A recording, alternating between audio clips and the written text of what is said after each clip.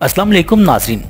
ناظرین، اگر آپ کو کرکٹ سے لگاؤ ہے تو آپ وراٹ کوہلی کو خوب جانتے بھی ہوں گے۔ وراٹ کوہلی کو اپنی پرسنالٹی کی وجہ سے دنیا بھی جانتی ہے۔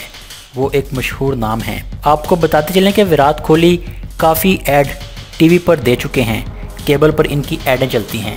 وہ اس سے پہلے لیز اور دیگر کئی ایڈیں دے چکے ہیں۔ وہ صرف ان ایڈوں سے دو ارب تک مواخذہ کما چکے ہیں۔ ایک رپورٹ کے مطابق وراٹ کوہلی کو قرآن پاک ہاتھ میں لیتے ہوئے پرفیوم پر ایڈ بنانے کا کہا گیا، مگر انہوں نے اس ایڈ سے انکار کر دیا کہ پرفیوم کی ایڈ ہرگز نہیں بناؤں گا۔ اس سے مسلمانوں کو تکلیف پہنچے گی۔ میں مسلمانوں کی دل ازاری نہیں کرنا چاہتا۔ قرآن پاک ایک پاک کتاب ہے اور میں ہندو ہوں۔ اس کتاب کو چھونا بھی میرے لیے حرام ہے۔ جس کے بعد لوگوں کے ذہنوں میں سوال آیا، کیا وراٹ کوہلی مسلمان ہیں؟ ایڈ کچھ اس طرح بنانی تھی کہ ہاتھ میں قرآن پاک پکڑنا تھا اور پرفیوم پر ایڈ بنانا تھا۔ وراٹ کوہلی نے اس ایڈ کی انکاری کی وجہ یہ بتائی کہ پرفیوم میں الکوہل بھی استعمال ہوتی ہے اور اس ایڈ میں الکوہل اور پرفیوم کو ہاتھ میں لیتے ہوئے قرآن پاک کو پکڑنا ٹھیک نہیں۔ میں مسلمانوں کے مذہب کے ساتھ کھیلنا نہیں چاہتا۔ جس پر ایڈ بنانے والے کی جانب سے وراٹ کوہلی کو ڈیڑھ ارب کا معاوضہ دینے کا اعلان کیا گیا۔ معاوضے کی قیمت بڑھائی گئی۔ مگر پھر بھی وراٹ کوہلی نے ایڈ دینے سے انکار کر دیا۔ کہتے رہے کہ میں قرآن پاک کی بے حرمتی کیوں کروں؟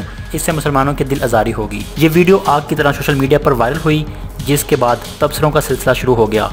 بعض کا کہنا تھا کہ وراٹ کوہلی ہندو تھا، اس لیے مسلمانی کتاب کو پکڑا نہیں اور ایڈ نہیں دیے، جبکہ بعض کا یہ بھی کہنا تھا کہ وراٹ کوہلی نے ٹھیک کیا۔ اس ایڈ میں پرفیوم کے اندر الکوہل بھی استعمال تھی۔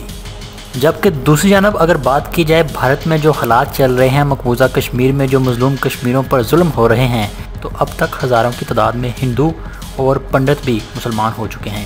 اور یہ بات بھی قابل قبول ہے کہ بابری مسجد پر حملہ کرنے اور اس کو مسمار کرنے جبکہ کرینوں کے مشین، مشینوں کے کام چھوڑنے اور جنات کے ظہور ہونے کے بعد بھی کئی ہندوؤں نے اسلام قبول کر لیا تھا۔ کئی پنڈت بابری مسجد کو بھی چھوڑ کے بھاگے تھے جبکہ انہوں نے بھی کلمہ پڑھ لیا۔ ان تمام تر حیالات کو سامنے لے کر اپنے رائے کا اظہار نیچے کمنٹ میں ضرور کریں۔ ہمارا چینل سبسکرائب کریں تاکہ آپ کو لیٹس اپڈیٹس ملتی رہیں۔